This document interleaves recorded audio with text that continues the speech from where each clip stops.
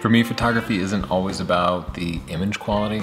Often it's just about the experience. And recently I've put together this kit, this bizarre Frankenstein kit that I just really love traveling with and just using casually. You know, if we're traveling with our kid, just a family thing, I know I'm not gonna get any portfolio worthy pictures that I'm ever gonna try to blow up to eight feet across because I'm not putting in hours and hours of effort to nail everything, but I still want to be able to just take snapshots and enjoy the process.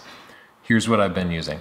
It's a Fujifilm X-T3, and I just love the way the X-T3 looks and feels. And it's really got all these like gorgeous analog controls on it.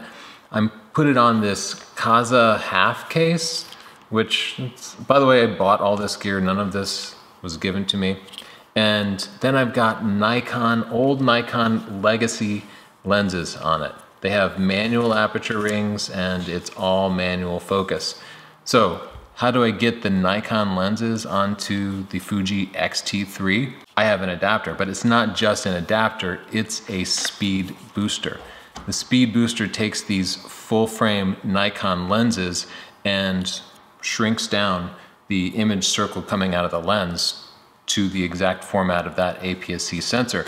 So basically you can see this is the adapter here. It's got optics in it and it's shrinking stuff down.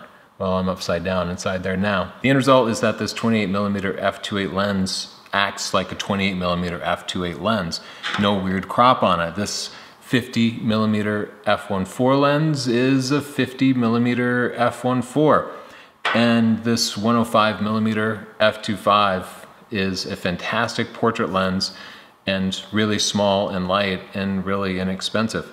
So if you're a Fuji user or any of this kind of thing appeals to you, you might pick up the X-T3 or at a lower end the X-T30 and get this sort of vintage experience. Now, you could take your Nikon lenses and stick them on one of the Nikon mirrorless bodies, but I don't enjoy using those as much. I mean, technically they're better. You don't need the speed booster, they have sensor stabilization, but I like the feel of the X-T3 and that's kind of what this is about for me. You could also take these Nikon lenses and stick them on a Nikon DSLR. Why not? You get that sort of fun part out of it and it would actually be closer to film because you have an optical viewfinder. If that's what you enjoy, go for it. But for me, the mirrorless camera experience is really nice because I can set the viewfinder to be black and white. I see the world in black and white and that actually helps me compose. But because these are manual focus lenses, the electronic viewfinder means that I can use focus peaking that helps me nail the focus and just be more accurate about it.